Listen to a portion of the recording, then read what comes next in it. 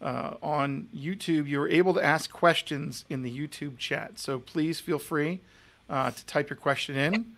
Uh, our esteemed producer, Becca Refford, will be keeping track of those and throwing them out at us, at us as they come along. So let's give it another minute and then we'll get started.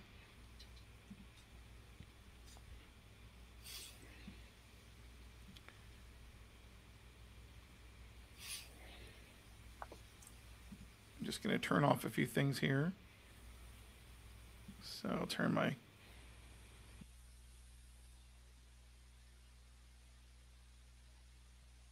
Ken, we lost you.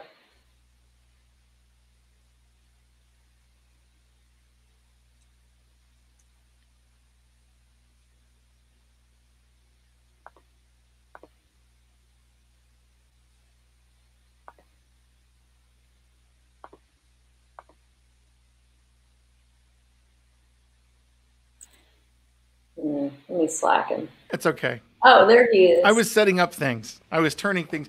So last week, I was dumb enough to forget to turn off my notifications. And then I had to turn them on live so everyone saw my notifications. So I'm like, I better turn that off. Hey, everybody. How are you? It is Tech Chat Tuesdays.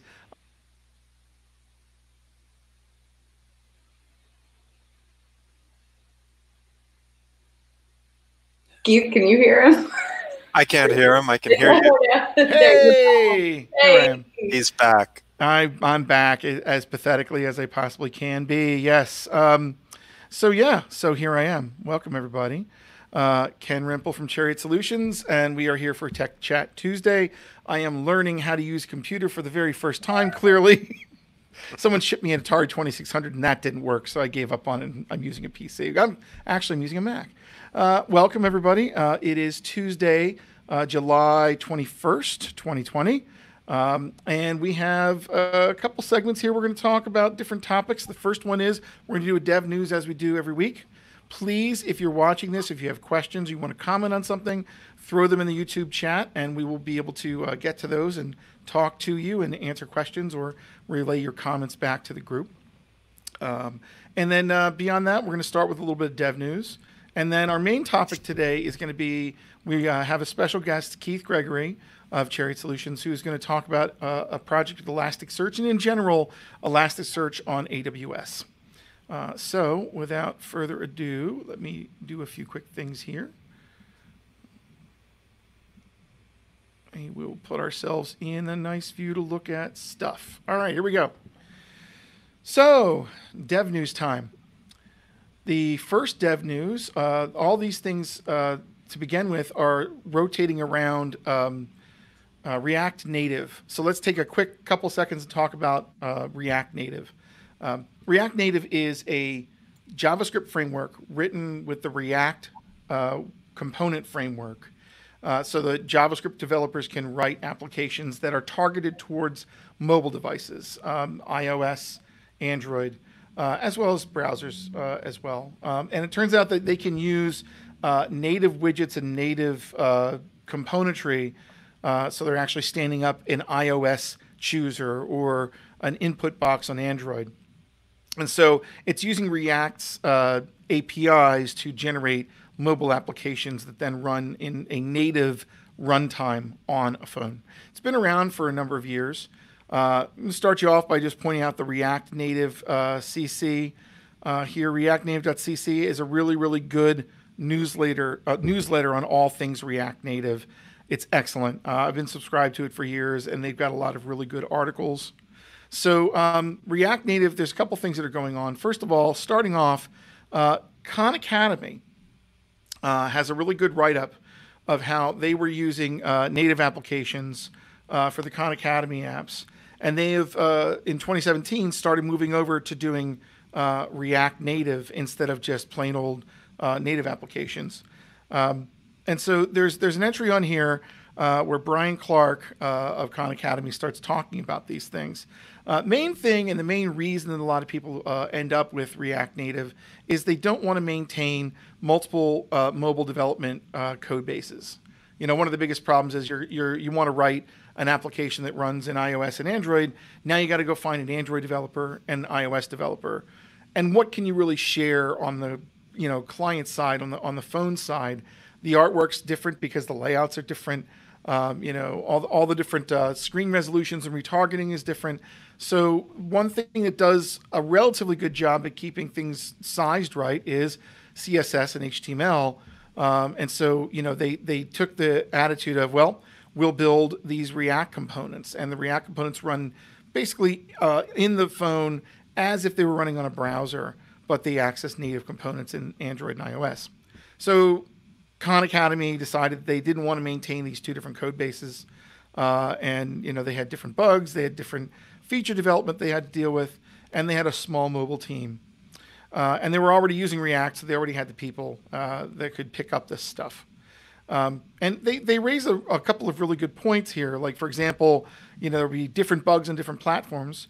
Uh, certainly, you will have that with React Native. You do have these, you know, I guess they're peer uh, objects where you've got a, a window peer or a menu peer or whatever, so to speak, a component that is implemented natively. So there could be differences there, uh, but completely different when you have different native platforms because they're not even based on a common thing. They're just native iOS or native Android things.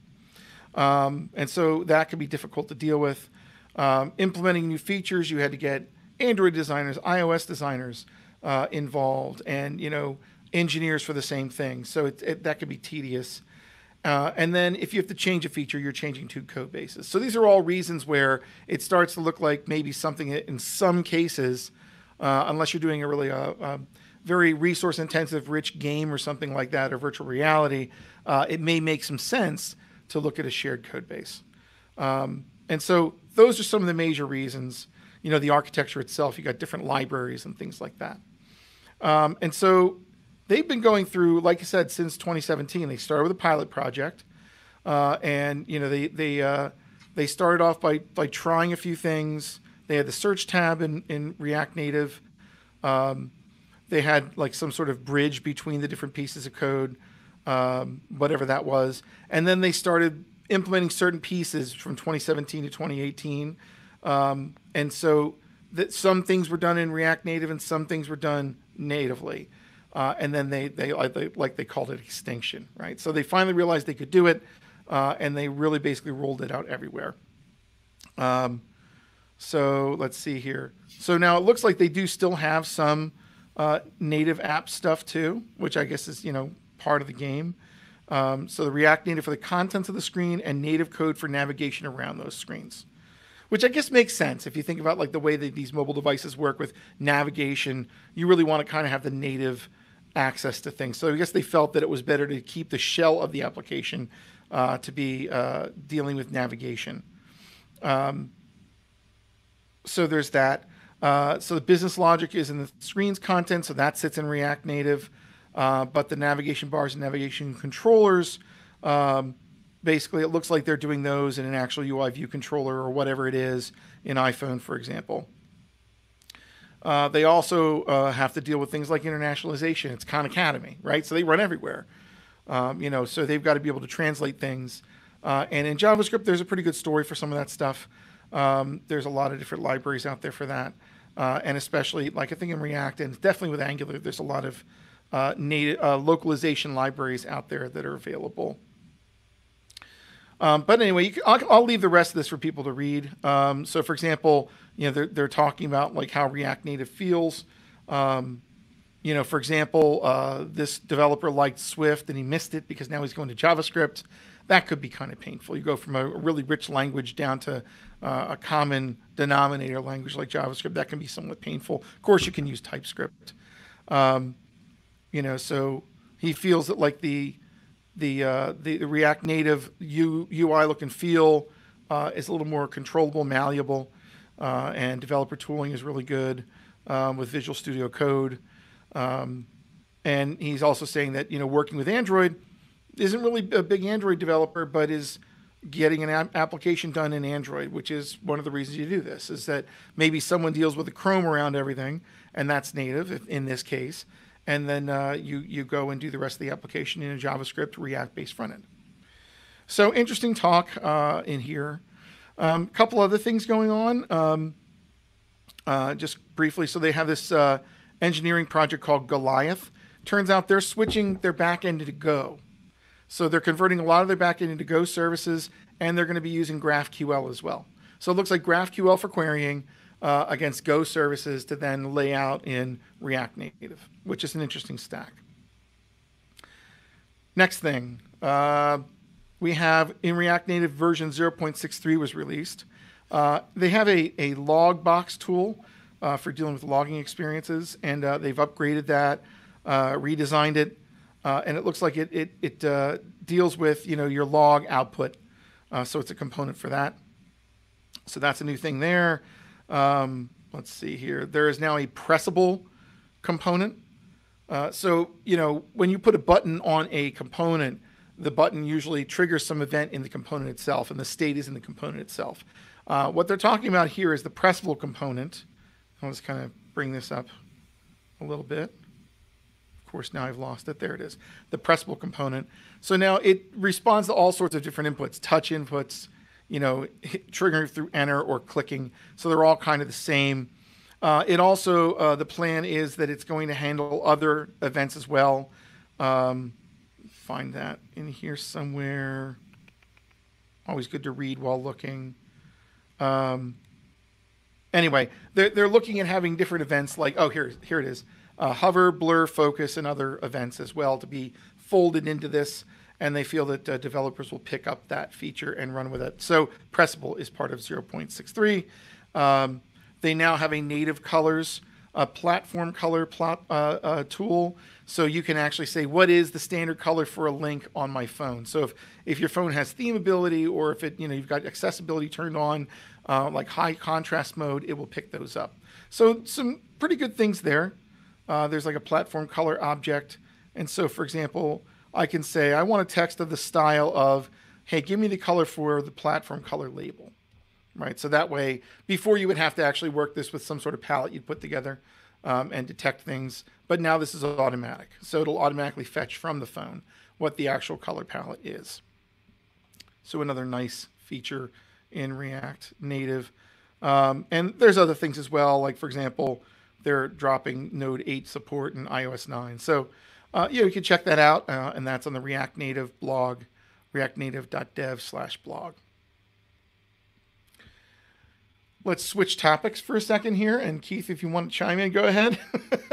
we uh, as a consulting firm, Chariot works with Amazon a lot, and we work with other cloud providers too. And I know some of the things that have been moving in that world in the last decade. We've gone from virtual machines to containers, uh, and now we're looking at people moving out and implementing serverless in a lot of places. And when when I say serverless, serverless is a very big topic, right?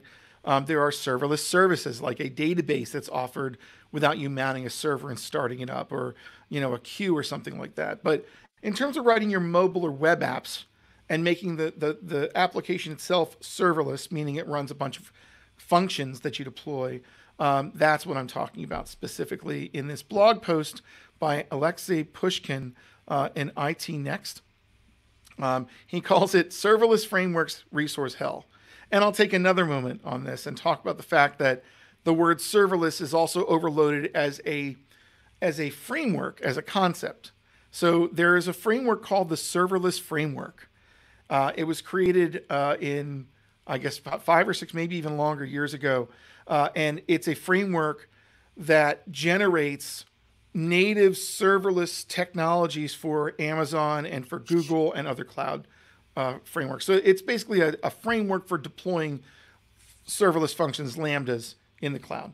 And it's not owned by any cloud provider. But then there, for example, is AWS's serverless uh, framework that they have, which is kind of their own take on that. Um, and then there's other things uh, out there. There are like tons of other smaller frameworks uh, out there um, that that are, are another kind of take on rolling out serverless technologies. It seems like all of these are struggling with generating the right boilerplate to get something done, right, Keith? Yeah, well, as you recently discovered with a project you were working on, there is just an enormous amount of stuff that you need to deploy. Uh, even a fairly standard web application written in Java uh, onto, you know, as you used a container system.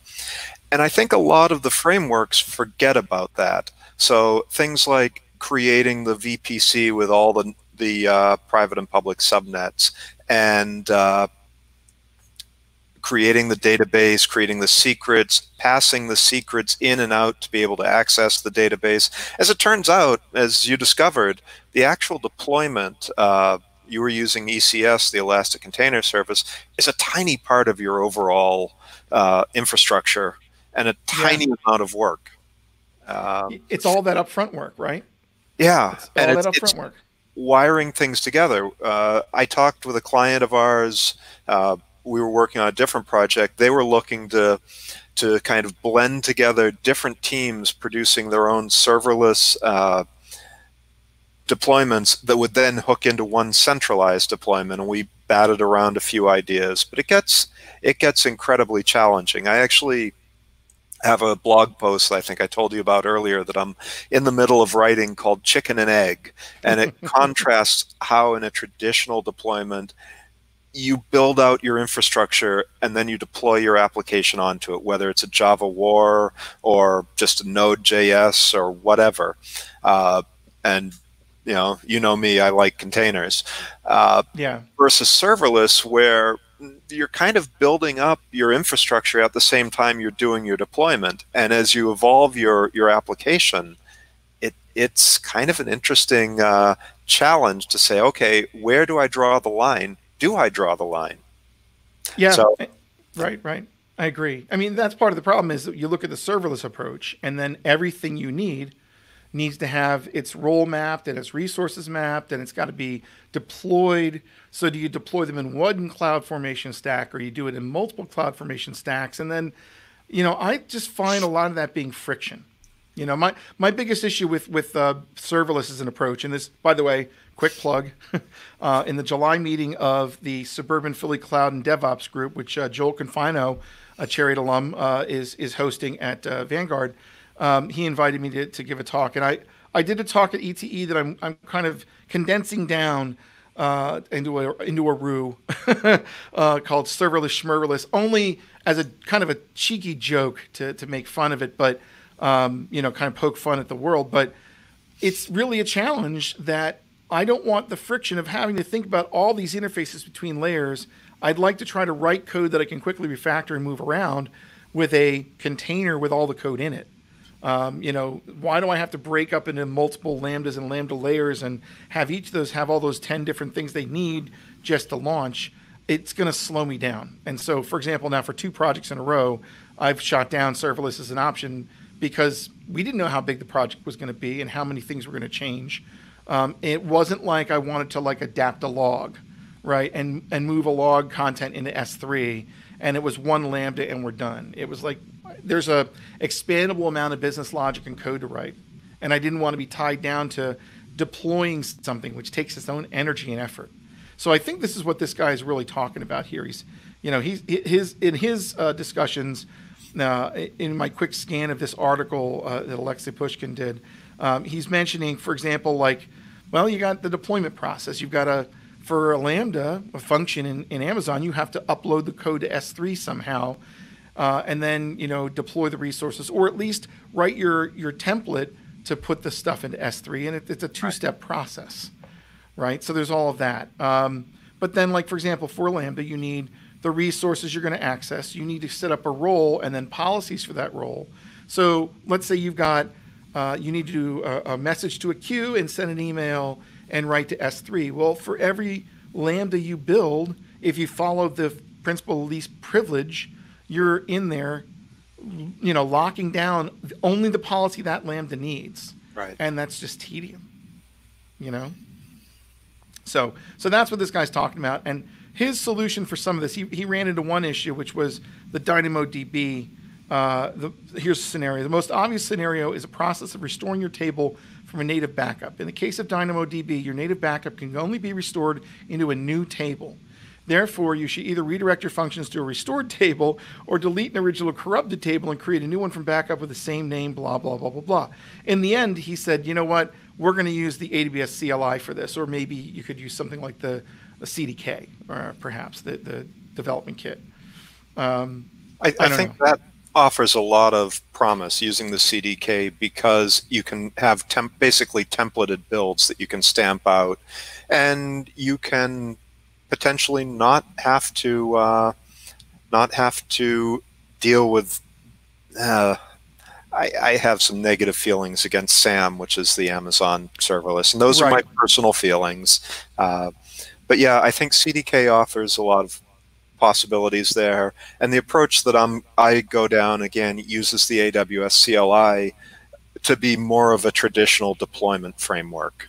Mm-hmm. Mm-hmm. So it's how much you want to wholeheartedly dive into uh, dive into the serverless world. Yeah, and you know there are people that do like whole you know uh, Node.js applications as a function for the entry point, right? So right. the entry point function is what you mount, but you're really mounting the entire JavaScript framework. And you know, I guess you're probably doing Webpack to turn into one giant script file, but that feels like it's serverless just to be serverless as opposed to serverless for the right reason. Right. Right. So, and there are other frameworks out there. Like one of the ones I was looking at was Architect, um, I'll bring this up briefly. Arc.codes, uh, and I really like what they're doing. Um, if you're if you're looking at like a lightweight, and by the way, they behind the scenes they are using, I believe they're using SAM and and they're using CloudFormation for you. So it's there's no free lunch. Somewhere it's got to happen, right? Because right. the the native the native way that the Amazon stuff is deployed is through resources created on Amazon, and so you can't get around it. But the idea is you could write a simple function um, you know, kind of expose these things, uh, and then just write a simple function for them, and then they get deployed. And he's got, you know, all sorts of things like, you know, WebSocket support, static assets, CDNs. So just a whole bunch of little resources you would need in a regular application to write. That said, you're going into a world where you've got to be an expert and architect. And now that's a, a very isolated world. It's cool, it's neat, it's powerful. But at the same time, when do you run out of that? You know, so I, I, just none of these things I've seen so far. I'm not ready to jump into any of them with two feet. I'm just not yet. Um, let's see here. So where are we? All right. So that covered the serverless thing. So anyway, if you look at his article, you know, he points out that like you know he's ended up doing AWS command. This is the AWS CLI. So he's doing like AWS DynamoDB create table and you know waiting for it to exist and then doing different things. So um, and that's a quick example. So yeah, quick if you're curious about what someone else has done when they're wrestling with serverless, you can check that out. And as I mentioned, the July meetup. Yeah, you were going to say something, Keith? No, no. Okay. All right. Hey, so um, it's funny. I was asking Keith last week about, uh, we were talking about postmortems and things that go bump in the night and how they're documented out there. And uh, turns out that we were talking briefly about Cloudflare's blogs, which are excellent. Um, they go through and they talk a lot about what they find. Uh, and so they had a really big outage on July 17th. Um, so it looks like that uh, there was a configuration error. They were having issues with traffic, and so they tuned something. And when they tuned it, they basically flooded it, right, and uh, shut down their uh, their their Cloudflare DNS services, uh, or probably the CDN. Um, the whole uh, thing basically was offline for 27 minutes, and saw traffic drop about 50% across their network. So they lost a lot of uh, you know, uh, edge uh, point content. Um, Keith, did you read this one? You have any thoughts on this I, one? I read the blog post. I can't remember details from it. Yeah, yeah, yeah. that's fine. You know, one of our colleagues uh, Friday afternoon, I think it was like quarter past five or something. We were still on Slack. He said, "Is anyone else having problems? Let me uh, let me check. Is it down?" Or one of the down detectors. He says, "Yep, it's down too."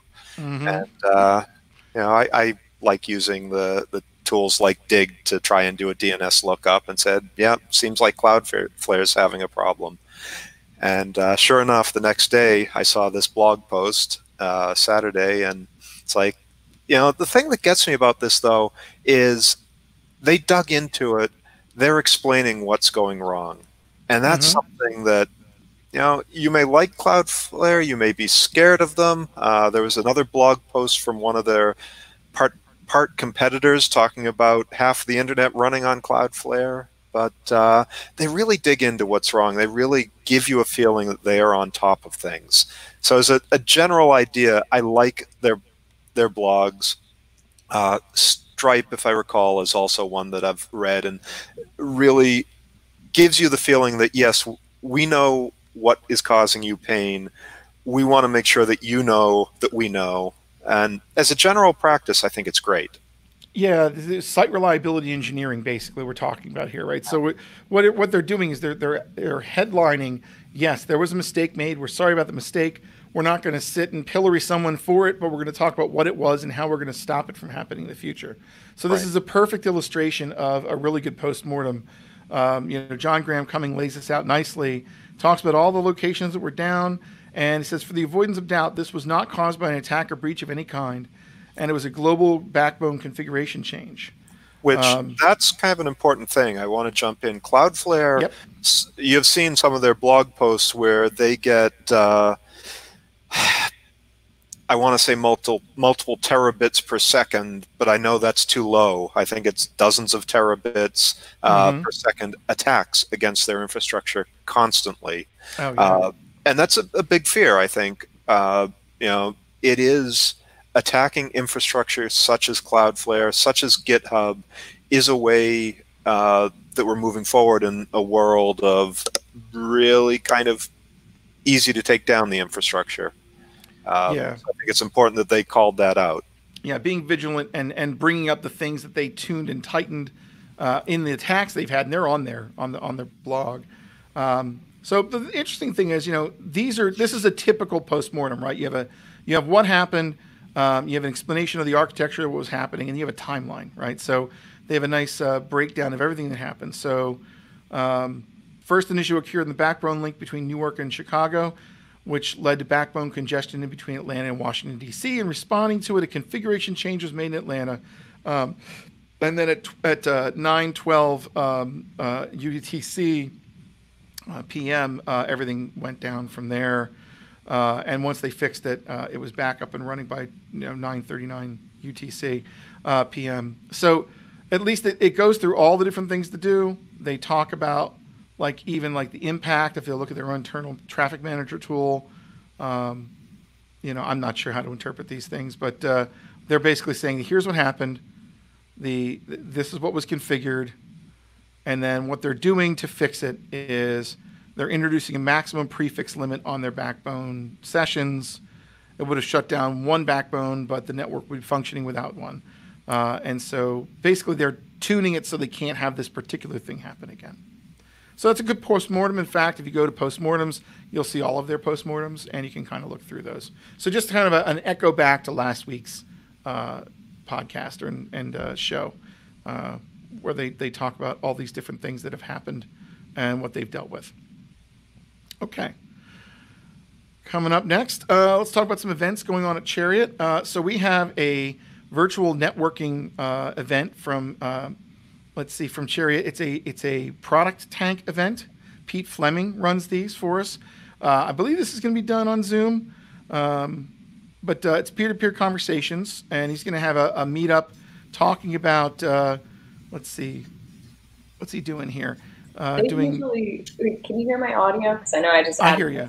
Yeah, I hear you, Becca. Go ahead. Okay, cool. So Product Tank is typically tutorial based or like workshop based. So he's just trying something new, like basically offering a Zoom, allowing a place for people to kind of connect more organically and naturally. Great. So that's going to be on Monday, July 27th at 12 p.m. Uh, Eastern Time. So if you want to hook uh, into that talk, you can you can you know just talk to people about your uh, product ideas and uh, about I guess uh, design and UX there. So that's that, and it's free. So you know please feel free. Chariot sponsors it, uh, and it's a, a good event. Um, we had a recent lunch and learn. Uh, Tracy Wilson Rossman uh, had some guests, and the topic was every company is a tech company. Just talking about how you're going to end up dealing with tech issues and and being somewhat of a technologist or having technologists in your team wrestle with things, uh, even if you think you're just a product company uh, that doesn't have a technology focus. So her uh, guests were Michael Vennera, uh, Vennera uh, Senior Vice President and Chief Information Officer in Independence Blue Cross, Bridget Daniel from uh, Executive Vice President from Wilco Electronic Systems, Chad Stender, Managing Director of 76 Capital, and Emily Yates, Smart City Director, City of Philly. So she had a, a good combination of different types of companies there uh, for her conversation, and that is available on Chariot's website in the uh, if the resources screencast section is where that is.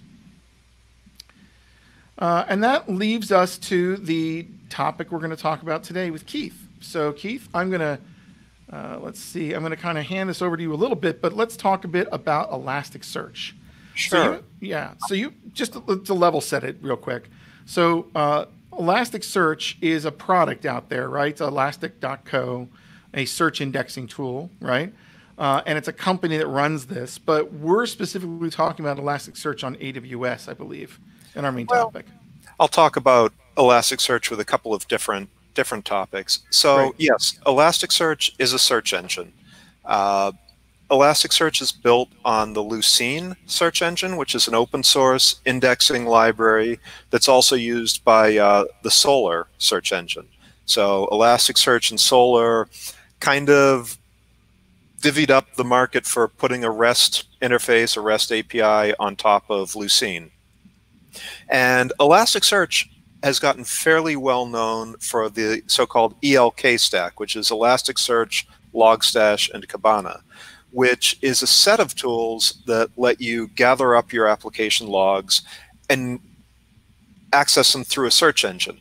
And this is particularly uh, enjoyable for developers, uh, speaking as a developer, because it lets you really dive into logs. And back you know, 10 years ago, 15 years ago, logs weren't that interesting. You, you wrote them as files. Uh, you might have a monolithic web server or web application server that's writing log files, and you'd occasionally use them to try and figure out what went wrong.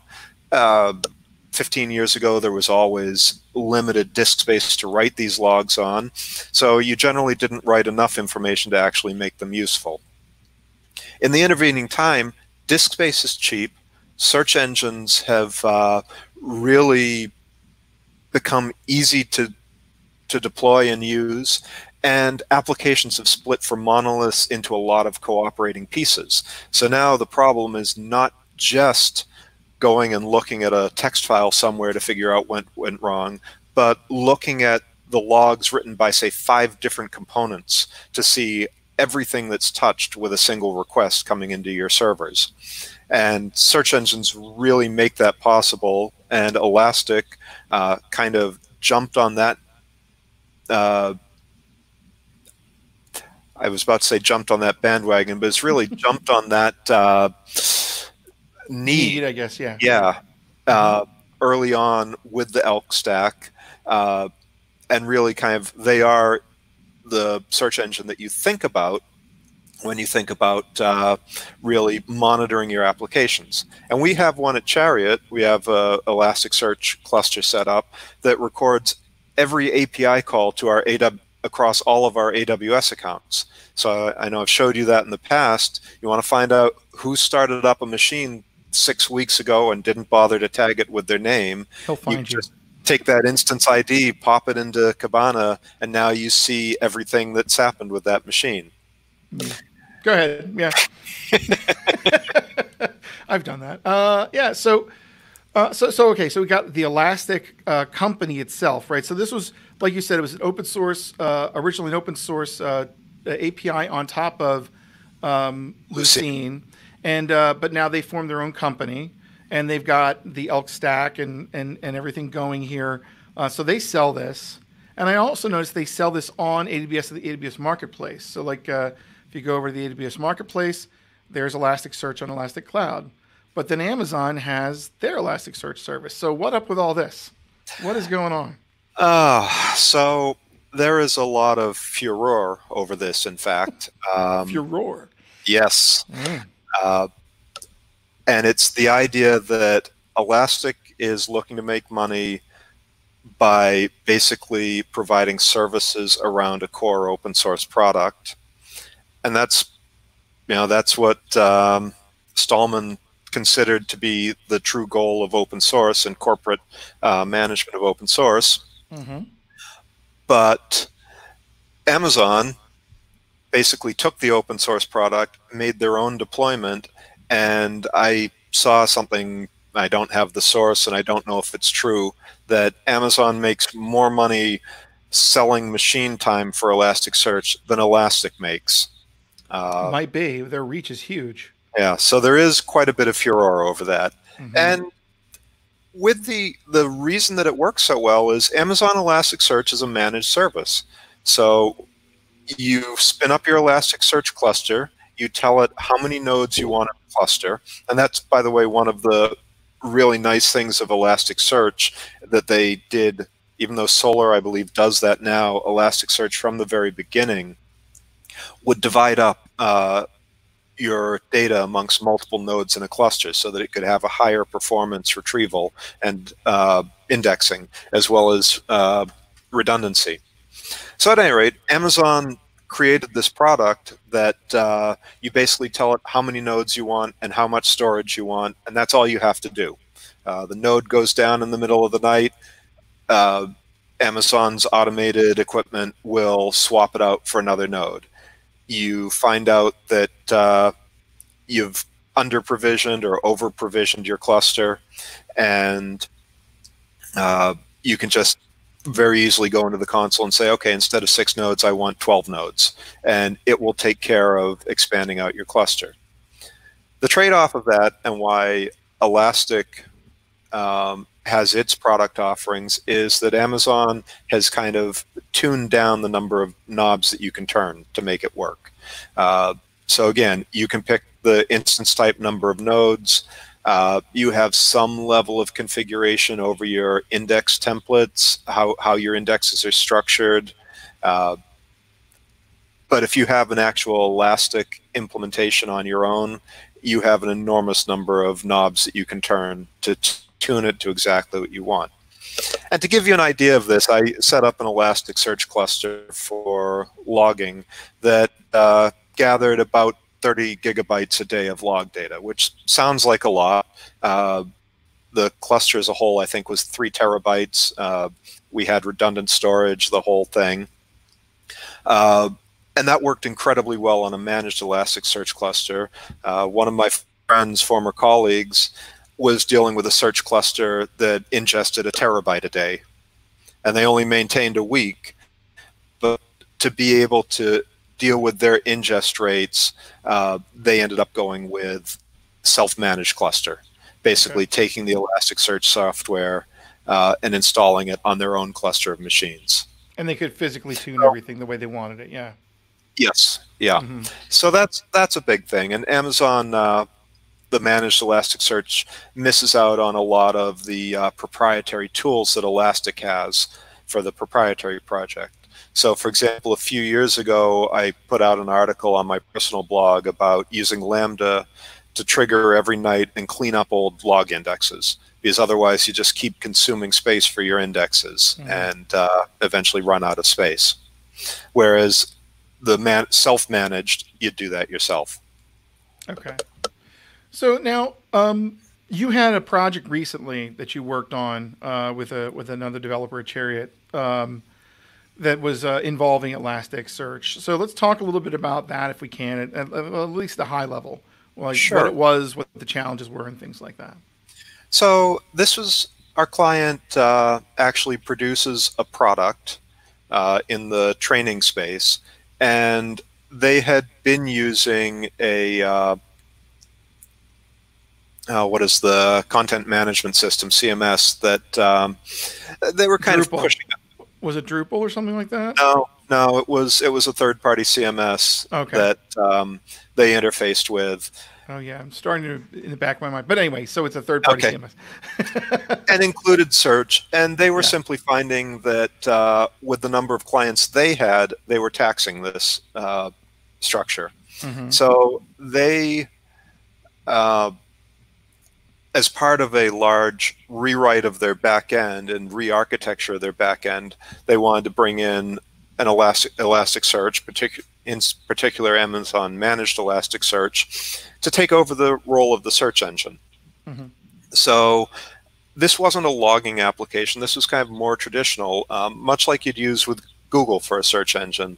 That you say, okay, I want to find out the training courses for this specific activity Right. Um, so that was a fairly simple search query for Elasticsearch. What made it a little bit challenging is that their content was in, I think, 27 different languages. Uh, they had a very large number of clients. Mm-hmm. And they also had additional keywords that would be attached to all of the search content. So we went in and worked with them uh,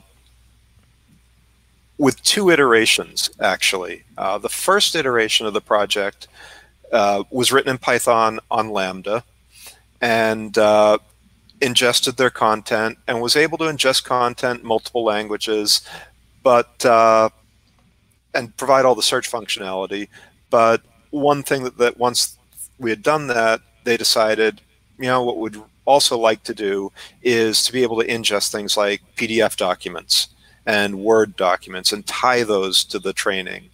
And that actually ended up, we fairly quickly re implemented in Java, again on Lambda, nothing had changed.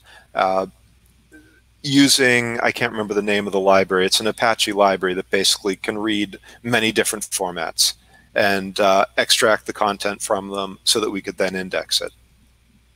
So it's a fairly straightforward use of Elasticsearch. It's a little bit challenging having the 27 different languages and making sure that we and the client knew how to uh, deal with certain things. For example, in Japanese, uh, they had lists of strings that were comma separated, so terms that you might search for. In Japanese, the comma is not really a comma. So oh, really? we have to recognize that and properly break up the, the lists for sense. Japanese. Sure, yeah. But where where I kind of like the approach we took is uh, what approach, which uh, you, I think you had the page from the Chariot blog up. Yep. And the idea, if you scroll down, you'll see a architecture diagram for it. It's a, what I think is a very simple way of uh, triggering lambdas and processing data that's being uploaded. And the idea is that you have your client, whatever it is. I show it as a browser here or a, PC here, but in their case, it was their actual main application. Dropping files into a staging bucket on S3, and then dropping that file triggers a Lambda to do some sort of processing. In this case, it was moving the content of the file into Elasticsearch and making sure it was properly indexed. And then the Lambda, as a result, moves, after it's finished, moves the file into the archive bucket.